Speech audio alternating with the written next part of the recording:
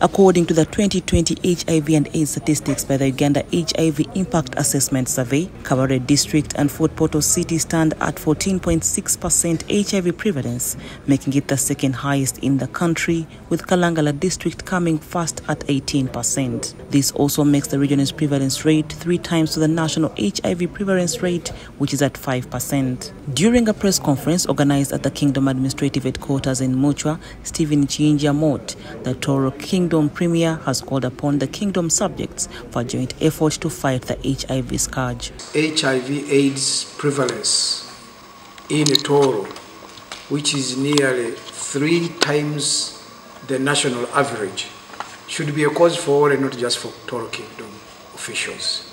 It should be a worry for you, the journalists.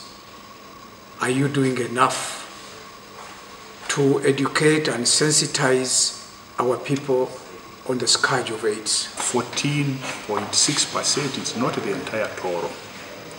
Uh, we know Toro is made up of seven districts plus one city.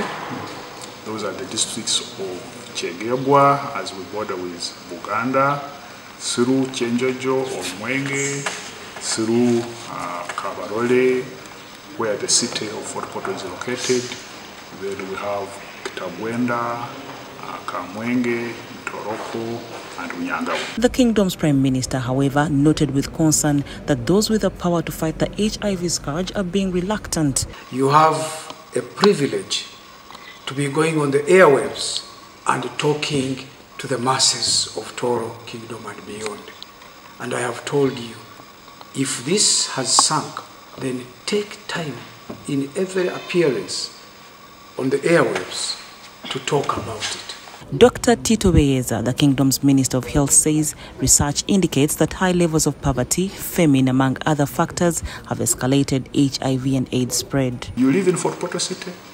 Am I lying that we have some families down there in Katwe, down those small, small areas where they are drinking a cup of porridge for a meal? They're having one meal in there.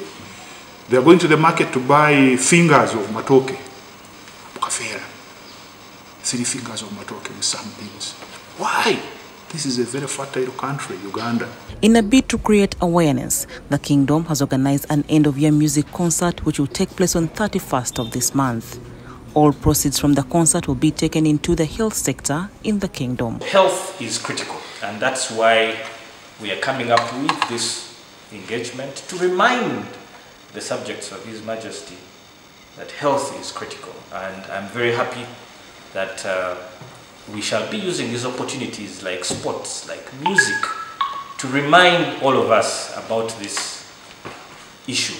Records at Kabarole District Health Office indicate that the district has a total number of 27,731 people living with HIV and AIDS, with a bigger number of these total being women at 16,707, while men with HIV in the district are at 9,664, while children stand at 1,360. Report compiled by Jonan Tusingwire for the news.